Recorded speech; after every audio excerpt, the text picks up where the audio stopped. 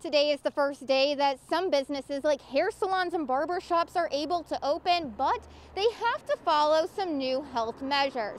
But after speaking with customers, we've learned that many say they don't mind the precautions. I think it's better to be safe than sorry. Like many other guests this morning, Danny Brown came prepared for his haircut, already wearing a mask.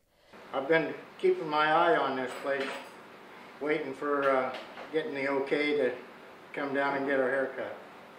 So I'm very happy that she's opened up. Now we'll see how it works out and seems like she's been awful busy.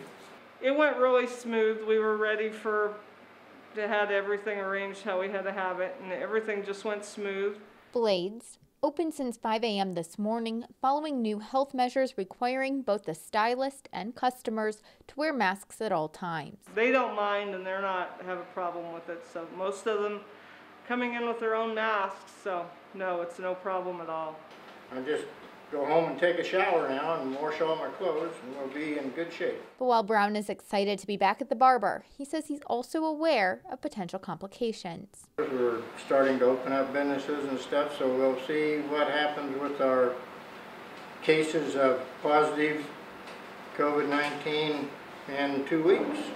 Now, as a small business owner or as a customer, if you'd like to learn more about the health measures that are still in place, we have many details available on our website, nebraska.tv. Jessica Stevenson, NTV News, Minden.